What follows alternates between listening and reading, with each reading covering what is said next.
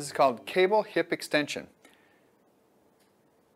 You'll use a cable or an elastic band anchored to a, in front of you. Knees are soft, stomach is tight, shoulders are back. Use a chair for support. Simply raise the leg back, keeping the knee slightly bent, back down. Back and hold. You're going to feel this right here in your buttock. Back down. It's called cable hip extension.